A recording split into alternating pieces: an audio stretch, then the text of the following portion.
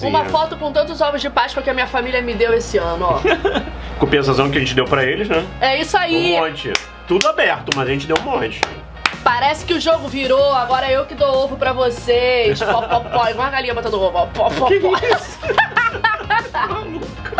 Vai lá, tio. Oi, hamburgueros! Eu sou o Paulo. Eu sou a Juliana e, esse é o canal dos Caçadores. Vocês pediram orelhinhas no Paulo e... Hoje temos o ovo que eu acho que foi o mais pedido. Eu não sei mais qual é o mais pedido, mas esse aqui foi muito pedido. Só que, gente, não é possível que vocês não saibam que a gente sempre faz o ovo do Outback. A gente faz ovo do Outback desde a primeira vez que teve ovo do Outback. Palmas pra gente, né? Vamos lá. E a gente recebeu em forma de presente. Não vira muito não, queria... Vai cair. Não, mas se cair a gente dá um jeito. A gente recebeu em forma de presente na nossa própria casa, Outback. Muito obrigada. Então eu vou mostrar pra vocês essa caixa aqui. Eu vou abrir junto com vocês. Eu não abri, tá? Então vamos ver o que, que tem dentro. Eu tô curioso. Oh! Olha que bonita a caixa. Esse ano arrasaram na caixa em Outback.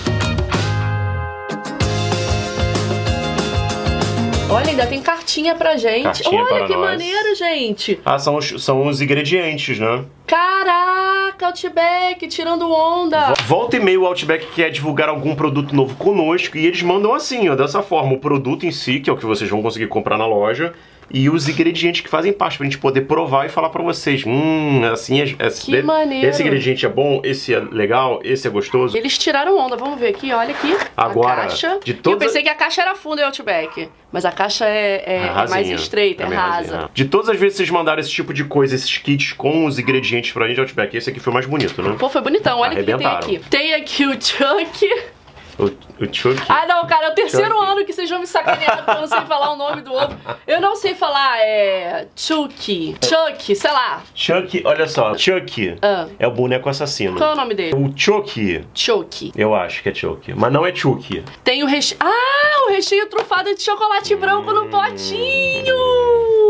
Ai, eu amo chocolate branco! E esse aí é qual? É o recheio Provavelmente trufado de aquele re- chocolate Meio amargo, porque geralmente eles têm esses dois tipos. E aqui, uma caixinha Com um pedaço do brownie. com o Thunder, que é o Ó. brownie mais famoso do Brasil. Ó, brownie é, chocolate thunder from down under. Hum, ele sabe chique. inglês. Ó, os dois lados são iguais, tá? Tá valendo aqui. Essa embalagem desse ano tá muito bonita. Tá bonita mesmo. O outro É. ano era mais simplinha. Esse aqui arrasaram já na É, tá embalagem. super- Esse ovo aqui, ele custa 49 reais nas lojas do Outback. Você pode ir direto na loja comprar. Ah, Juliana, é obrigada eu comer batata, comer cebola? Não, você pode chegar lá de chinelo mesmo, até Vai descalço. no balcão, não, na Vai no recepção. balcão, É fala: porque- Oi, tudo bem? Vim buscar o ovo de canguru. Eles vão fazer só um minuto que a dona cangurua tá lá fora, botando mais alguns. Aí você espera um pouquinho, aí eles vêm e você paga, entendeu? Todo mundo comigo aí, vamos falando choque, choque, choque, choque. Na hora de abrir, hein? Posso contar com vocês? 3, 2, 1. Chuck, Chuck, Chuck, Chuck, Chuck, Chuck, Chuck, Chuck, aí! Tem no papel alumínio. Ele não é um ovo grandão e ele é só uma metade. É, mas ele é recheado, então ele é pesadinho. É, ele tem um peso bom. Se tacar na cabeça de alguém, faz um estrago de leve. Se tacar na cabeça de alguém, ela vai ver cangurus por aí. Vai ver um canguruzinho. 290 gramas. 290 gramas. Então, Agora- apesar dele não ser enorme, ele é todinho recheado com produtos do Outback, que é o brownie, ganache de chocolate, Sim. só coisa gostosa. Não deixe de assistir esse vídeo até o final. Eu queria, queria de antemão pedir desculpa pra vocês, porque aqui em cima do nosso estúdio tá tendo uma obra e ao lado do nosso estúdio está Julieta gritando pra obra. Ela é completamente desequilibrada. É, porque toda blogueira é o quê? Quem me conhece sabe. Então quem conhece a Julieta sabe que ela é, ó, muito latidora. Ai, gente, peraí, eu vou ter que ver se tem as unhas do coelho, né? Que na verdade nem é unha do coelho, cangurua. Cangurua. Ó, eu não tô vendo, vocês que estão vendo. Ó, não tô vendo. Vocês que vão ter que me falar se tem ou não, ó. Comenta aqui embaixo pra mim se tem unha de cangurua ou não. Agora eu vou ver. Eles mentiram pra mim, cara. Falaram que não, brincadeira. tem sim unha de cangurua. E são bem marcadas. Muito bem marcadas. Olha! Gostei, Antback. Já vou de cara meter um facão aqui, porque eu gosto de ver as coisas ó, partida ao meio pra ver tudo que é camadinha. Na verdade, eu gostaria de dar uma dentadona nesse ovo, mas como a gente faz o vídeo para vocês, a gente corta no meio pra mostrar pra vocês exatamente como ele é por dentro, Sabe né? o que, que me lembra o ovo do Outback? O quê? Quando a gente ganhou um exatamente no dia que a gente foi pra Nova York a última vez. Foi. Aí a gente comeu no aeroporto. Foi muito legal, cara. Foi, assim, a gente tava arrumando mala e falaram: tem uma entrega do Outback. A gente nem sabia que o Outback sabia A que a gente tava indo pro existia. aeroporto. Caraca, como assim? O Outback entregou um negócio na minha casa. Inclusive tem, se você tá pensando em ir pra Nova York, ou se você gosta de Nova York, ou se você pensa em ir pra Nova York um dia, tem uma playlist completa de Nova York aqui no nosso canal. Ah, Vocês têm certeza que vocês querem ver?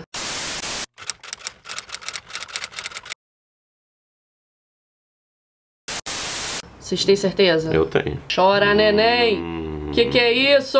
Cangurua! Esse tá fresquinho, você acabou de botar, com certeza. Que que é isso, gente? Olha a ganache escorrendo. E o brownie, olha o brownie ali. É Aquele brownie bem famoso do Outback com nozes de pecan. Gente, tá bonito pra caramba. Muito. Eu tô afim de pegar e dar uma dentada. Pode dar uma dentada. Tá, posso, qual posso você fazer? quiser, você está liberado, Paulo Henrique. Não, esse aqui tá mais bonito, ó. Caraca, esse pedaço gente. é meu, ele tava aqui, ó. Tá muito fresquinho, sério. Pode? Pode, vamos lá. Eu ia morder esse pedaço aí pra pegar o brownie. Hum, ah, vai cagar, vai. Esse pedaço era meu, mas ainda tô comendo, tu já tá limpando a mão. Eu odeio mão suja. Como é que o troço é bom?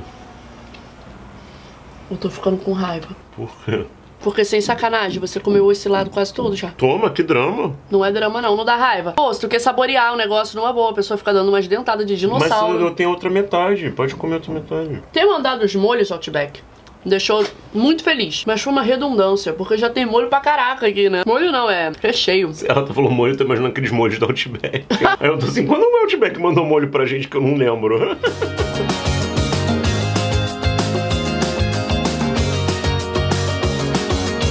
Sabe que eu tô achando bem gostoso? Porque a casca dele, pra mim é muito estranho chamar isso aqui de casca, né? Porque eu imagino uma casca de ovo. Mas a parte de fora do ovo, ela não é tão doce, né? É meio ela amargo. é meio amargo. Então, o que que acontece? A ganache preta também é meio amargo. Quando você pega a ganache branca, que é bem doce, Uma e ela, delícia. e ela equilibra com o chocolate meio amargo da casca, E o brownie do Outback, que não é muito doce. é, é doce, mas não é extremamente doce, fica tudo muito equilibrado, né? Parece que eles fizeram cálculos. Sabe a Nazaré, quando ela fica assim, ó? Pois aí, peraí que eu chamo ela. Nazaré, mostra a cara aí pra galera, quando você tá calculando as coisas. Então...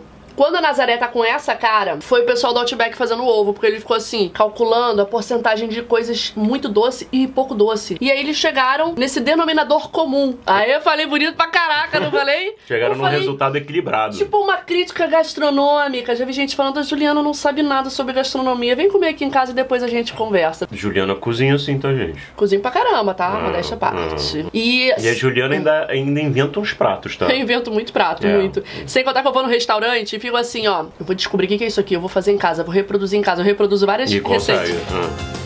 Hum, se você esperou eu falar mal, Comer mais um pedacinho. eu não tenho como falar mal. Eu sinto muito. Tá muito gostoso. Não tenho como falar mal, não. Vocês vão me desculpar.